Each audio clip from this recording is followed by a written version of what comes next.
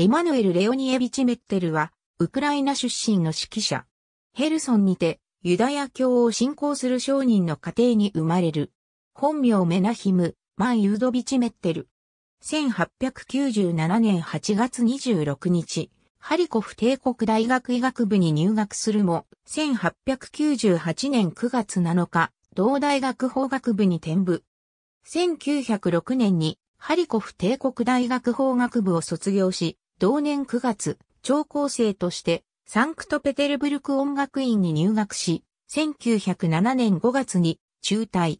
火山の歌劇場で指揮者を務めていた時期に、プリマバレリーナのエレナ・オソフスカヤと結婚。後ハルビンに亡命して、ハルビン交響楽団で指揮活動を行ったが、亡命の時期について、岡野弁は1916年頃、ロシア革命勃発の直前ではないかと推測している。宝塚音楽歌劇学校で教授を務めていた妻、エレナを追って1926年3月に来日。神戸市中山手通りや東灘区の深江文化村に住み、ハインリヒ・ベルクマイスターの公認として大阪放送管弦楽団を指揮。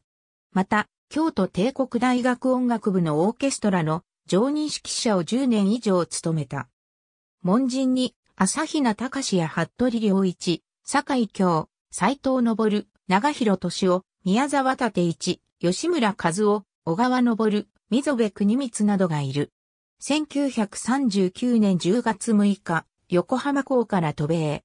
1941年8月28日、アメリカ合衆国カリフォルニア州ロサンゼルス市ウェスト、ハリウッドにて心臓病のため死去。ありがとうございます。